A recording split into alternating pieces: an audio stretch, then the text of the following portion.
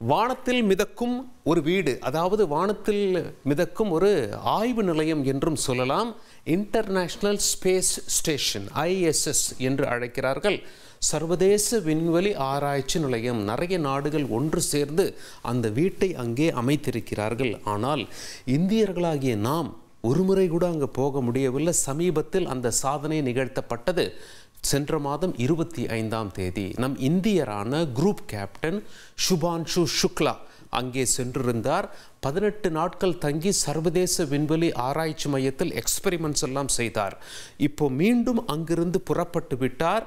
ஒரு நாளில் இங்கே வந்து சேர்ந்துருவார். அதாவது நாளை மதியம் சுமார் மூன்று மணி அளவில் அமெரிக்கா பக்கத்தில் பசிபிக் பெருங்கடலில் வந்து அந்த கேப்சூல் விழும். அதில் நான்கு வீரர்கள் இருப்பார்கள் பிறகு மீட்கப்படுவார்கள். முதல்ல ஜூன் இருபத்தி ஐந்தாம் தேதி ஃபால்கன் நைன் என்ற ராக்கெட்டில் டிராகன் என்ற விண்கலம் பொருத்தப்பட்டு அனுப்பப்பட்டது. நான்கு நாடுகளை சேர்ந்த விண்வெளி வீரர்கள் இருந்தார்கள். America India Poland Hungary. இது அமெரிக்காவில் ஃப்ளோரிடா மாநிலத்திலிருந்து புறப்பட்டது. பிறகு அங்கே டாக்கிங் நடைபெற்றதால் இந்த காட்சிகளை நம்மால் பார்க்க முடிகிறது. அது விண்கலத்திலிருந்து விண்வெளி ஆராய்ச்சி மையம் பூமியிலிருந்து சுமார் நானூறு கிலோமீட்டர் உ- உயரத்தில் பூமியை சுற்றி வந்து கொண்டிருக்கிறது. ஒன்றரை மணி நேரத்தில் ஒரு முறை பூமியை சுற்றிவிடும். ஒரு நாளைக்கு குறைந்தபட்சம் பதினைந்து முறையாவது பூமியை சுற்றிவிடும் இந்த சர்வதேச விண்வெளி ஆராய்ச்சி நிலையம். இதன் முதல் முதல்ல ஜூன் இருபத்தி ஐந்து அரங்கேறிய காட்சிகளை பார்ப்போம்.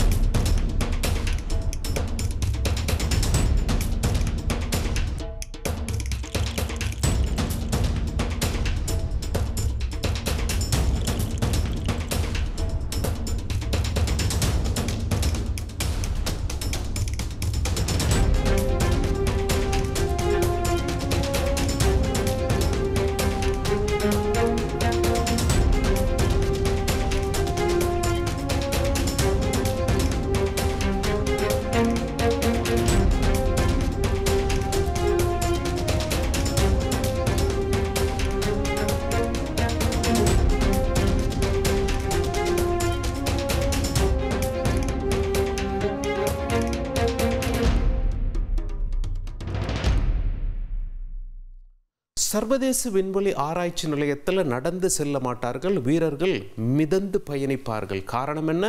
புவி ஈர்ப்பு விசை கிடையாது. அதாவது அங்கே மைக்ரோ கிராவிட்டி என்று அழைப்பார்கள். இங்கே பாருங்க இந்த டெலிப்ராம்டர் ரிமோட் அப்படி போட்டால் கீழே வருது. காரணம் புவி ஈர்ப்பு விசை இழுத்து விடுகிறது. அதே போல தான் தண்ணீர் ஊற்றினாலும் கீழே வந்து விழுகிறது. ஆனால் அங்கே மைக்ரோ கிராவிட்டி அப்படி கிடையாது. ஒரு சொட்டு தண்ணீர் எவ்வாறு மிதக்கிறது பாருங்க. கிராவிட்டி இருந்தால் தானே கீழே வரும். கிராவிட்டி இல்லை என்ற காரணத்தினால் அப்படியே நிற்கிறது நம் இந்திய வீரரான சுபான்ஷு சுக்லா. அங்கே ஒரு சொட்டு தண்ணீர் கீழே விழாமல் எப்படி மிதந்து கொண்டிருக்கிறது என்பதை காண்பித்தார். அந்த காட்சிகளை பார்த்து விடுவோம். In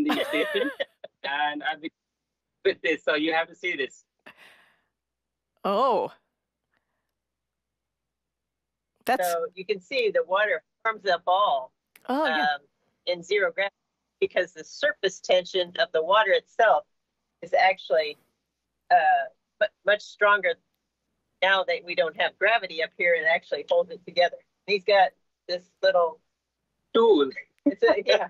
It's a water bubble moving tool. I think we can get it. I can actually bring the. Uh, this this. this we can bring closer. If I can find the um, This, uh, Look at that. That's Yeah, i- it's like we're looking at a clear marble, but it's actually a liquid. Yep. Is that a Yeah. bubble inside there? Yes. Wow. Wow. bubble inside a water bubble. I told you I have a water bender. You, so you really have acclimated beautifully. well, unfortunately, we didn't really want a bubble this time, but we'll go ahead and take it anyway. Uh, we're gonna do another little example. I've got a plastic bag here. okay. and I'm going to just see what happens when the plastic bag comes in contact with the water. Slowly, slow. Oh, Oh, wow. Check this out. நீர்த்துளி எப்படி மிதக்குது பார்த்தீங்களா gravity இல்லாத காரணத்தினால ஒரு கோலி மாதிரி அதாவது ஒரு marble போல காட்சி அளிக்கிறது நீர்த்துளி அது சர்வதேச விண்வெளி ஆராய்ச்சி மையத்தில். நிறைய எக்ஸ்பெரிமெண்ட்ஸ் சயின்டிஸ்ட் எல்லாம் பண்ணாங்க. மொத்தம் அறுபது எக்ஸ்பெரிமெண்ட் பண்ணாங்க. நான்கு பேரும் நம் இந்தியாவை சேர்ந்த விண்வெளி வீரர் சுபான்ஷு சுக்லா ஏழு எக்ஸ்பெரிமெண்ட்ஸ் பண்ணியிருக்கார் அங்கே செடி வளர்க்குறது உள்பட விதையிலிருந்து செடி வளர்த்தாக வேண்டும். இன்னும் பல எக்ஸ்பெரிமெண்ட்ஸ் இருக்குது அதெல்லாம் செஞ்சு முடித்த பிறகு ஏற்கனவே டாக்கிங் மூலமாக சேர்ந்து கொண்டார்கள். விண்வெளி அந்த விண்கலம் வந்து அந்த சர்வதேச ஆராய்ச்சி மையத்தோடு சேர்ந்ததுக்கு பேர் டாக்கிங் இப்பொழுது நடந்திருப்பதற்கு பேர் அன்டாக்கிங். அது பிரிகிறது பிரிந்து பூமியை நோக்கி வருகிறது. நீங்கள் கேட்கலாம் மொத்தமே நானூறு கிலோமீட்டர் தானே சார்? இங்கேருந்து திருச்சியை தாண்டி மதுரைக்கு போகிற ரூட்டில் போகிற மாதிரி தானே? ஒரு அஞ்சாறு மணி நேரத்தில் வந்துடுவாங்களா பயங்கர ஸ்பீடாக வருமே விண்கலம்னு கேட்கலாம். அதுதான் கிடையாது. அவங்க ஸ்ட்ரைட் லைனில் வரலை. அவங்க பூமியை சுற்றி கொண்டு வருவதால் சுமார் ஒரு நாள் தேவைப்படுகிறது இந்த நானூறு கிலோமீட்டரை கடப்பதற்காக. அதாவது துல்லியமாக சொல்லணும்னா சுமார் இருபத்தி இரண்டரை மணி நேரம் தேவைப்படுகிறது. பசிபிக் பெருங்கடலில் வந்து பேராஷூட்டில் அந்த விண்கலம் விழும். முதல்ல பேராஷூட் விரிஞ்சிடும் அப்போ தான் ஸ்பீடு கண்ட்ரோல் பண்ண முடியும்.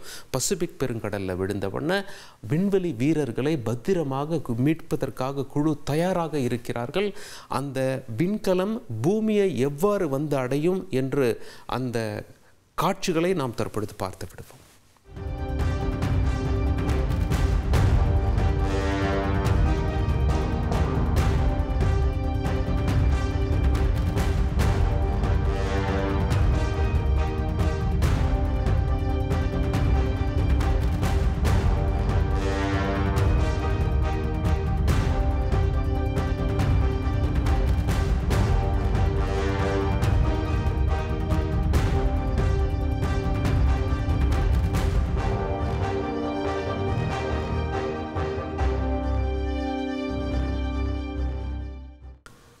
விண்ணுக்கு செல்லும் இரண்டாவது இந்தியர் திரு சுக்லா. முதல் இந்தியர் யார் தெரியுமா? ராகேஷ் சர்மா என்ற விங் கமாண்டர். ஆயிரத்தி தொள்ளாயிரத்தி எண்பத்தி நான்காம் ஆண்டு ஒரு வாரம் போய் தங்கியிருந்தார். சோவியத் யூனியனுடைய ஸ்பேஸ் ஸ்டேஷனில் சல்யூட் ஏழு என்று அதற்கு பெயர். அப்பொழுது ஐஎஸ்எஸ் என்று ஒன்று கிடையாது. சர்வதேச விண்வெளி ஆ- ஆராய்ச்சி நிலையம் என்பது ஒன்று கிடையாது. அதற்கு பிறகுதான் வந்தது. எனவே இங்கே சொல்லும் முதல் இந்தியர் என்ற பெருமைக்கு சொந்தக்காரர் சுபான்ஷு சுக்லா. இந்திய நேரப்படி நாளை மதியம் சுமார் மூன்று மணி அளவில் வருவார் என்று எதிர்பார்க்கப்படுகிறது. உங்கள் தந்திவன் தொலைக்காட்சியில் ஆத்மான். செவ்வாய்தோறும் இரவு எட்டு மணிக்கு காணத் தவறாதீர்கள்.